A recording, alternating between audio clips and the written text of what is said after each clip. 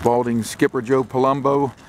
I know you've played in conditions like this in your career, your college career down at University of Maryland. Talk about today's win, what it means to you, and the effort of Tyler, especially on the hill uh, after those three unearned runs in the first inning. Yeah, it's a, it's a, it's a good win for us. Uh, so they're at the top of the league right now.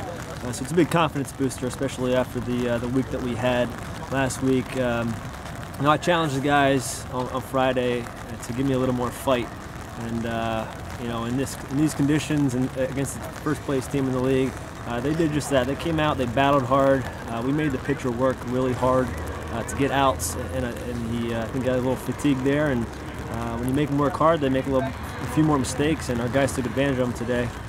you know, Tyler was the, the, epitome of toughness today. You know, we weren't really helping him out in the first inning.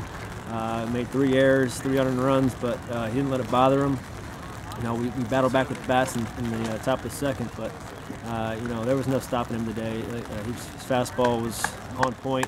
Uh, he, was, he, kept him off balance off the, all, all, day long, and uh, you know, he, he, was huge for us today.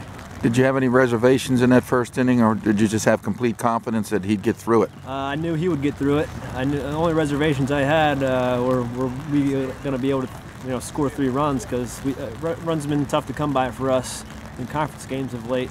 But uh, those obviously those, those, quickly went away after the top of the second. So you know I had supreme confidence in him that he was going to keep us in it. He just had to chip away, and our guys, our lineup did a great job of that today.